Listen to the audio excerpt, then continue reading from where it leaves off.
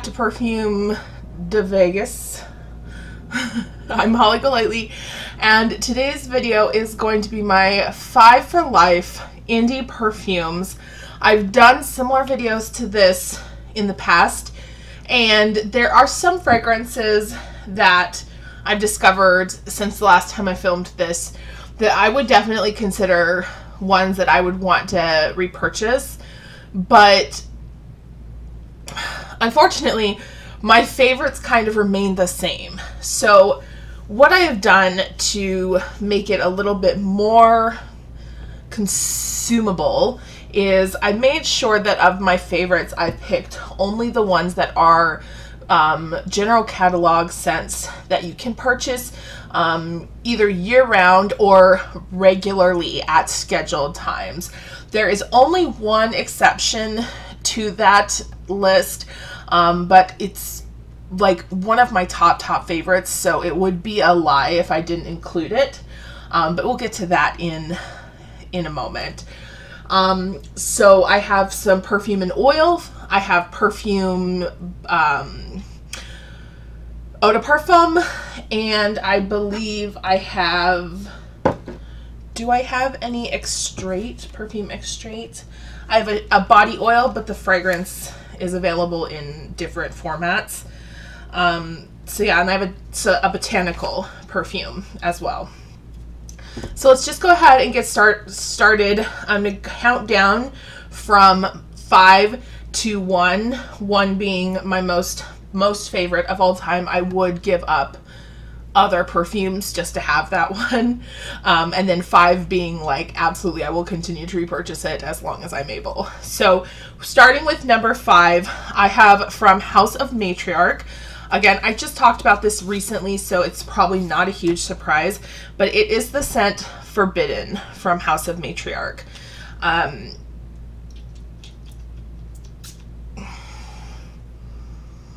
it's a beautiful, unique white floral. It's slightly smoky, slightly incensey, but it has that absinthe note that's green and a little bit sweet and then it has the white florals inside that just make it um, very blooming. I wouldn't say it's a floral floral fragrance. It's more like a spicy green floral fragrance. The white florals are not like super indolic or anything like that um, let me pull up the notes for you or the description of the fragrance for you house of matriarch says that Forbidden, a natural white floral fragrance, is rooted in layers of historically feared and even outlawed essences. Forbidden begins with an ero- erogenous absinthe and Damiana opening, then sweetly drops into an intoxicating heart a accord of tuberose, wild mushroom, and papyrus. I've also mentioned before I love papyrus in fragrance. Oh. A smooth finish of precious woods, snake leather, and sweet baked earth complete the rapturous and totally unique fragrance encounter. So yeah, this smells just beautiful. It's sexy, earthy, incensey, floral, but not indolic. It's green and it's, it's beautiful. It's beautiful. So that at number five is House of Matriarch Forbidden. At number four, I have one from Alkemia Perfumes, and this is Gateau des Rois. I have a video entirely about this fragrance. I'll link it up here or down below um, where I've reviewed this fragrance in entirely entirety, but this is the King Cake fragrance. Um, it's a Mardi Gras release.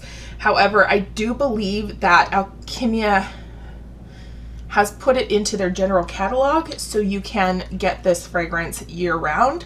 If not, you can get it every year at Mardi Gras time, like usually between February through March, April. This is one for the gourmand lovers. It's sweet, it's almondy, it has this scent of like icing, like a vanilla, like icing. Yeah, it's got that like almond cake sweetness, vanilla. It's not flowery or powdery smelling at all. It's just very smooth, and rich. Um, and sugary almond cake vanilla scent. I'm going to read to you what Alkemia says about the Gateau des Rois fragrance.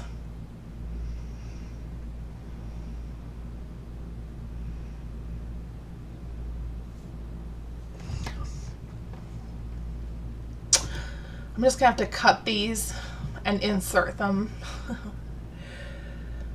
so this is delectable fresh king cake, chicory coffee, spilled sazerac, Spanish moss, rusted iron, and Louisiana vetiver root. Laissez le bon brûler. The scent is a gentle intro into the world of essential oil perfumes. A subtle scent, it works well for teenagers too. So this is definitely um, something that is quite easy to wear, but quite unique as well. This is coming from the Soapbox Company. It looks like Gateau des Rois has become an exclusive to Soapbox Company. So, um, yeah, I'll have it linked for you. This is one of my favorite indie gourmand fragrances um, Gateau des Rois from Alkemia. I love to wear it on Fat Tuesday. I love to wear it throughout the entire Mardi Gras season, Easter season. Um, it's just so delicious and it performs beautifully in that sort of early spring, late winter weather where the sillage is nice, but it's not like super heavy, doesn't overwhelm you with sweetness because sometimes sugary sweet fragrances can be overwhelming, but Gateau des Rois from Alkemia, that doesn't happen. It's just delicious. So that is the next one, number four on my list, Alkemia's Gateau des Rois. And I will link all of these that are available, of course, down below. I know one is not, but the rest I'll link. Then we have the triumvirate of my favorite fragrances. And it's very, very hard to put them in an order. Um, it's, yeah, it's not easy. Um, we'll go ahead and go with, yeah, I'm going to go ahead and go with number three because the two, number two, number one, I don't know how I'm going to choose. Um, and that is the scent Old Havana from Solstice Scents. I just talked about this or I briefly mentioned it in my Solstice Scents fragrance um, review video. And Old Havana, I have this one here in the body uh, Burnishing Glacé. Oh my gosh, it's so good. What you get with Old Havana is a dark rum lim lemon a dark rum, minty, tobacco, salty ocean lime sort of smell. It is like literally it's composed to smell like having um, having a mojito on a beach bar in 1950s Havana. It's so gorgeous. It is so beautiful. The tobacco note in here is done so well and it mixes with the salty air note, the lime note, and the rum. It just makes it like it makes you salivate. It's so good. This is where um, fragrance notes like tobacco, which is technically a um, a plant, a, a, a, not an herb, but um, um, it's a plant, you know, but it becomes a gourmand, like it becomes a foodie scent because it's just, it's edible. The scent is so rich. The Old Havana fragrance description from Solstice Scents. It's tobacco, woods, spices, sea mist, and lime. Old Havana is an exquisite Old Havana is an exquisite, sophisticated, and elegantly refined tobacco scent with all the nuances of the highest quality handmade premium cigars, carefully aged and stored at optimum temperature in a Spanish cedar lined humidor. This fragrance illustrates the wrapper, tobacco within, and wooden storage cigar wooden cigar storage box. Old Havana also features warm spices, a delicate squeeze of fresh lime top note, and a splash of salty sea spray and moist beach sand. The lime is very subtle and detectable upon cold sniff and initial application. Beyond the opening, the smooth tobacco, soft woods, spice, and sea spray swirl an intensely beautiful, mysterious, and realistic fragrance. Oh my god, it is so good. Transport yourself. Old Havana is our final word on tobacco scents and one of our favorite blends to date. It's so, so good. It's so good. It's so good. I don't know how many times I can repeat myself. It's like the best. It is the best. The final word, for sure. This is, um, again, like I said, this is in the Burnishing Glacé format. I have the um, oil fragrance format as well, and I really want to get the Eau de Parfum um, for this because I love it that much. It's so good. It's my favorite tobacco. I've said it before. I've said this before. This is my favorite tobacco scent of all time. It's to die for. To die for. So if you love tobacco scents, please, please, please, please do yourself a favor and try Old Havana from Solstice Scents. The Burnishing Glacé I think cost when I purchased it, I think it cost nine dollars. Um, the oil format perfume costs eighteen dollars, and the um, I think the eau de parfum is eighty five dollars for sixty mil. It's not outside of like um, a normal budget. You know, it's not crazy expensive. So, Solstice Scents, Old Havana, so recommend. I so recommend all of these, and I really recommend them for like different reasons. So, you know, don't don't hold back. Find something that you think suits you and go for it. The next two.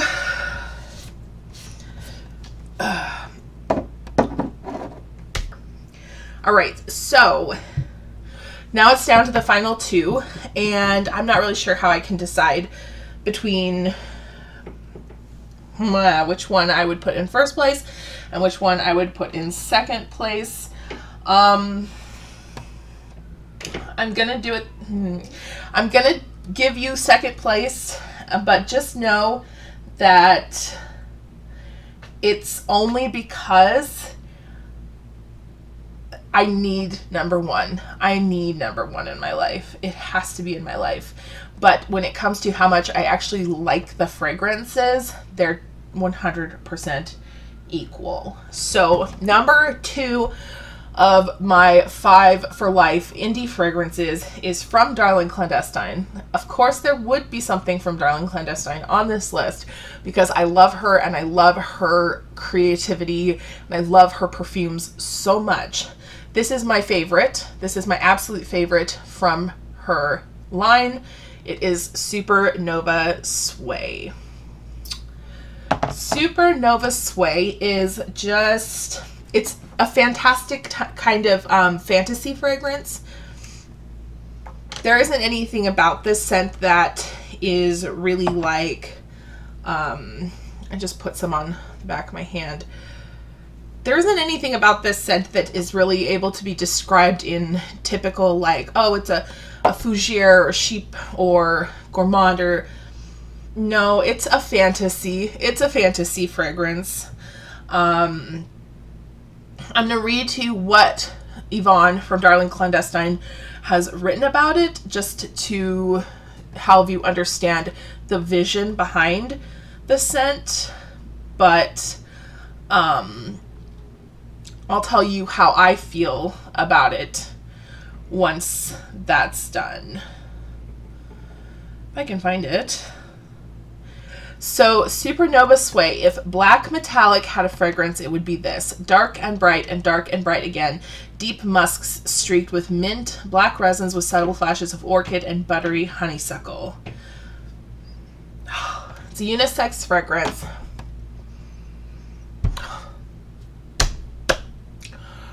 When you think, like, if you've ever imagined in your head, like, in the 80s, like 70s, 80s, kids in like New York, um, like New York neighborhoods, you know, knocking the fire hydrant and playing on the street, music blaring from a boombox.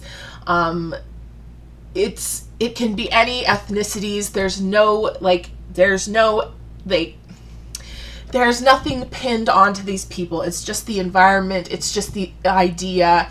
Um, a hot maybe car parked nearby, people sitting on the porch, there's flowers in the flower box. It's just a gathering of people enjoying the heat of the summer and the com camaraderie of their neighbors. that's what this smells like to me. It doesn't even have to be like a New York, New York. um, but this can be anywhere, any city, any neighborhoods, neighbors, children, adults. And there's hot metal from a car nearby. There's sweet, floral, minty, somewhat um, bright scents floating in the air. There's a little bit of wetness. There's just it's, it's transportative. It just when I wear Supernova Sway, I feel like a, a person in a, a novel. Like I feel like I'm being transported to a place and time. And that's what is like so great about the scent. Um, what's so great about Darling Clandestine is just the nature of the way the fragrances make you feel. And a Supernova Sway makes me it gives me the feeling that I yearn for something that I've never actually experienced in this lifetime, um, something that I want or miss or felt and that I want back. So yeah, Supernova Sway. This one is not available for sale right now. I've asked her, I've asked, I've asked Yvonne a couple of times. I've hinted to, to redo, to release it, but I don't know if she's able to do that. So it may never be available for sale. So um, I'm sorry about that, but that is my one of my favorite. Like that is one of my absolute favorite indie fragrances of all time. So now you're probably wondering what's number one. You're like, well, how can, what's number one? You said you needed number one in your life. Oh, baby, I do. I absolutely do. Number one on this list is from Haus of Gloi. So you should, if you followed me for a while, or if you watch my indie videos, you probably should already know what it's going to be. Um, and it's Vice. This is the Eau de Parfum. I have the perfume oil. I have the body lotion is over by my bed. Um,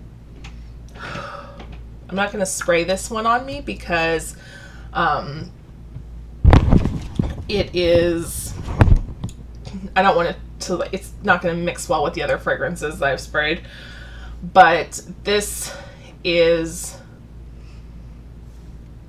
First of all, just the fragrance alone is a beautiful gourmand scent. It is coffee, it's marshmallow, it's tobacco, it's graham cracker, chocolate. It's like having a s'mores with a Turkish coffee at the train station and somebody is smoking a cigarette near you. Uh, Haus of Gloi literally, literally says, Haus of Gloi says, steam billows rolling off a vessel fre- of fresh made Turkish coffee, marshmallow goo tainted by graham cracker crumbs, toasted hazelnuts, and blanketed in black chocolate. It is the perfect gourmand fragrance. It is the perfect gourmand. um, I love it more than any other, like, pretty much any other fragrance I own. If somebody came to me and they were like, you can have a lifetime of access to Vice or a lifetime access to Angel, I would probably choose Vice. I love it that much. Angel's my signature scent, but Vice is like holy grail status perfume. So the reason that I say that I need this fragrance is because of the scent properties for me is very, very comforting. The scent the itself, it's so warm, it's cocooning, and I put it on. I use the lotion at night, especially when I'm struggling with um, insomnia. I put the fragrance oil on when I'm having anxiety attacks or panic attacks. To me, this is a fragrance that's also like a healing essential part of my life. When I'm really nervous about somewhere that I'm gonna go, when I know that I have somewhere very stressful, like a, uh, a new doctor's appointment or an interview or something, I will put Vice on. It doesn't matter if I put it on before I go, like right before I go, or if I put it on earlier in the day to just help me calm down as I get ready. Like I I could not imagine not having this fragrance in my life. So I pray that it never gets discontinued. I know that with indie fragrances, especially, that's always a possibility as components become hard to source or too expensive, or if just the um, the the ability to make the fragrance is not there.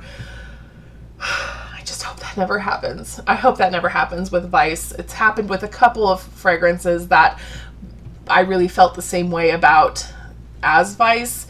Um, so I have to pray that that never happens. So my number one all-time indie fragrance favorite and one of my favorite fragrances, just literally in general, my whole collection, Haus of Gloi Vice.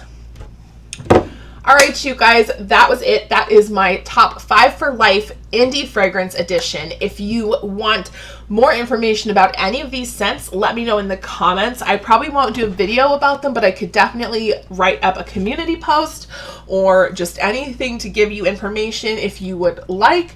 But for the most part, I've already talked about all of these scents in other videos, so I will have all of those in cards or linked down below for you. I hope that you've enjoyed seeing some of my favorite indie scents lately, and I plan to do more indie fragrance videos in the future as I am getting into fall and winter because that's when all of the best scents come out and I really start buying a bunch of indie fragrances. So be on the lookout for those videos if you want to know more about indie brands or indie fragrances in general. If you have any indie brands that you would like me to purchase and review, I can definitely do that. I actually I have a bunch of samples. I'm thinking about re-reviewing some older scents that I've sampled. Um, but I know there's a lot of houses that I want to try that I haven't gotten to. So if you have one that you're interested in and would like to suggest to me, leave in the comments down below because I might already have a sample or have tried in the past and just haven't talked about them because they didn't work, but I'd be happy to follow up with any other indie fragrances that you're interested in. Thank you so much for watching this video. Make sure you like, and if you haven't subscribed, do so before you go, and I will see you on the next one. Bye!